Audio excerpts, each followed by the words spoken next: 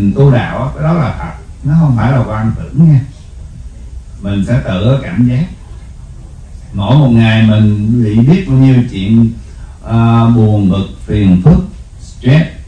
Nhưng mà khi gặp kiệt rồi kiệt không có dám nói nha quý vị sẽ có nguồn vui á à, không phải là kiệt là, là người biểu diễn hề đâu.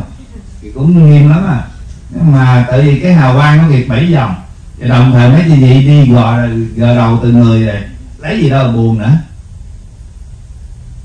Và điều à, trí tuệ á, thì cũng có chút tăng trưởng. Cái quan trọng là mình học là mình học cái gì? Học hiền học buông bỏ cái sân sân là dữ không mình tới đây là mình học cái hiền. Học là phải nghe nghe nghe và hỏi thì những lời chuyện nói ra có cái nghe được thì quý vị cứ nghe đó à, chuyện nói chuyện là thượng vàng hạ cám mà từ uh, người không biết gì cho tới người siêu trí thức và những nhà chính trị gia lỗi lạc cũng đều nghe. Thì ai nghe được phần nào nghe phần đó.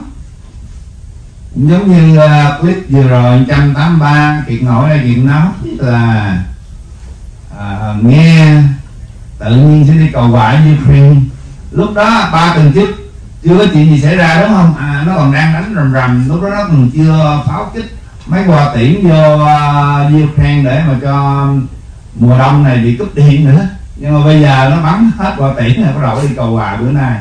Coi như mình nó trúng nữa rồi đó. Nó hết dụng trăm quay trở lại nó trúng. Nó luôn nó vụ trung cộng nổi loạn nữa cũng trúng. Chia năm sẽ bảy đó không có thể nào mà chống chọi được với ông trời hết. Bây giờ giàu cho tập chính mình, có khôn à, bốn năm chục triệu đảng, cộng sản, đảng viên của dân cộng, không nên giỏi cái nào nào. Cũng không bao giờ bằng cha hết.